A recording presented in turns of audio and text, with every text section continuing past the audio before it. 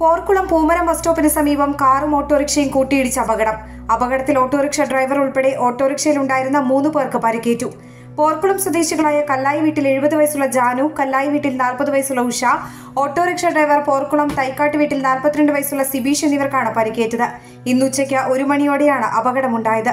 പോർക്കുളം ഭാഗത്തു നിന്നും പഴഞ്ഞി ഭാഗത്തേക്ക് പോവുകയായിരുന്ന കാർ തെറ്റായ ദിശയിൽ കയറി വന്ന എതിർദിശയിൽ വരികയായിരുന്ന ഓട്ടോറിക്ഷയിൽ ഇടിക്കുകയായിരുന്നെന്ന് ദൃക്സാക്ഷികൾ പറഞ്ഞു. ഇടിയുടെ ആഘാതത്തിൽ ഓട്ടോറിക്ഷ റോഡിൽ മറിഞ്ഞു വീണു.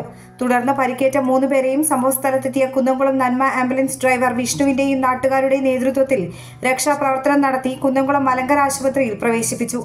അപകടത്തിൽ ഓട്ടോറിക്ഷയ്ക്ക് പൂർണമായും കാറിന് ഭാഗികമായും കേടുപാടുകൾ സംഭവിച്ചു. Holy Grace Academy has truly revolutionized my girls' educational journey. കഴിഞ്ഞ വർഷം ഈ ബണ്ണിയിലത്തെ ഒരു വൺ ഡേ ക്യാമ്പ് ഉണ്ടായിരുന്നു. ആൾ ഇത്തിരി ഷൈ ആയിരുന്നു മുന്നേ. പക്ഷേ ഈ ഒരു പ്രോഗ്രാമിൽ പങ്കെടുത്തതിന് ശേഷം ആൾ കുറച്ചും കൂടി ടോക്കറ്റീവ് ആയി. ക്ലീനിങ് ഉണ്ടായിരുന്നു സറൗണ്ടിങ്സ് ക്ലീനിങ് ഉണ്ടായിരുന്നു ബിഹേവിയറിനെ കുറിച്ചുള്ള ക്ലാസ്സസ് ഉണ്ടായിരുന്നു. കുട്ടിക്ക് ഇതിൽ പാർട്ടിസിപ്പേറ്റ് ചെയ്യാനൊരു അവസരം കിട്ടുന്നു എന്നുള്ളതാണ്. അത് എന്റെ മകളുടെ കോൺഫിഡൻസിനെ ഒരുപാട് മെച്ചപ്പെടുത്തിയിട്ടുണ്ട്. നിലവിൽ ഇപ്പോൾ ഞങ്ങളുടെ മൂന്ന് കുട്ടികൾ ഈ സ്കൂളിൽ പഠിക്കുന്നുണ്ട്.